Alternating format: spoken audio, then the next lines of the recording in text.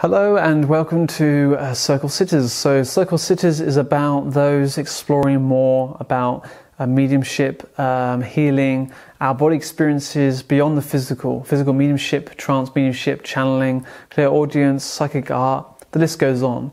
But our mission, our purpose, and our aspirations is basically for um, a lot of people to create their own home circles.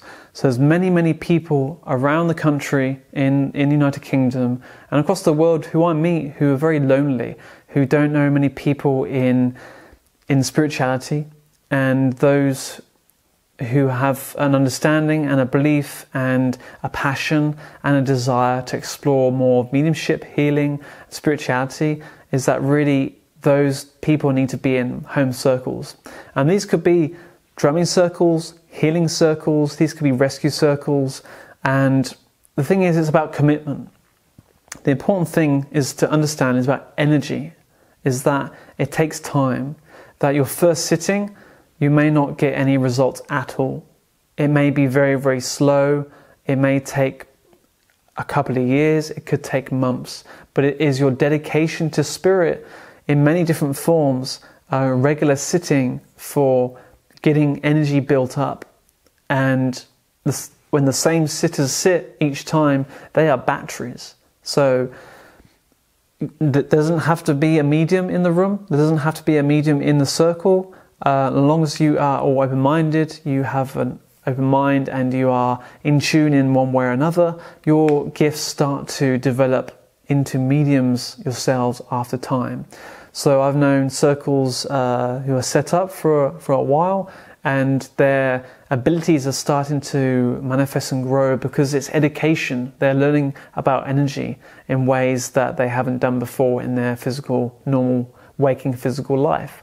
So home circles is important that you doesn't have to be at home. It could be another place. Perhaps you have an office somewhere that is very darkened. It doesn't have to be darkened all the time. It can, you know, suitably in low lighting conditions to start off with, meditating together, focusing on a candle, or just having a circle of chairs. Ideally, you need about maybe four, five, six people. Um, you can have a bigger group, but when it gets too big, it can be a bit complex.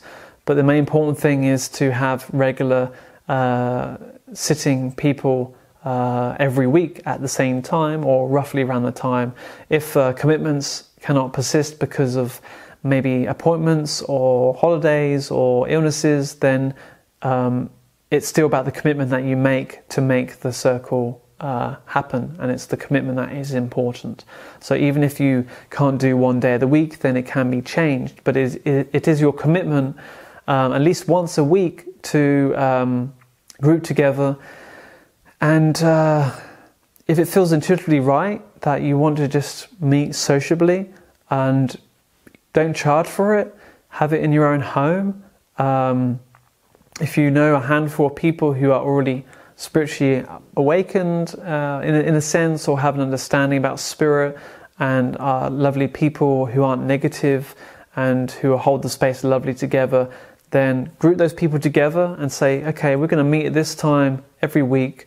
I want you to meet up and let's you know let's do this. And at one point, if people don't understand the processes of energy, they might seem for them boring. Um, those aren't the right people. The right people are the ones that will give their energy in the right way, be committed, and uh, be part of the circle. And for whatever reason you are brought together, if it is to uh, help passed over uh, lost souls, if, it is for healing, if it is for anything, but really it's about just sort of meditating together first of all and seeing what develops. So I've known a few circles who have started just sitting around a candle and seeing things in the candle, and then they started to move on to table, table work, table tipping, and um, now they use spirit communication via uh, the table. So there are others who also have healing circles as well. I know of, and or mediumship when they just do trance. So the list goes on. But really, a home circle is a development circle where you develop with people and friends, co workers, it could be people that you trust, even your family. um, just gather your family together if they're like-minded and say, hey, just let's sit every week. And it's really good in this day and age where we're people are addicted and are too attached to their mobiles and devices. This is a really good thing to come back to source and to understand about spirit and to have have presence, proper presence of not just physical people, but also being more connected to your guides and guide work. Um, so it's our passion and our desire to see more home circles grow um, and expand. And this is why we're here. So thank you for watching and um, I hope to see you soon.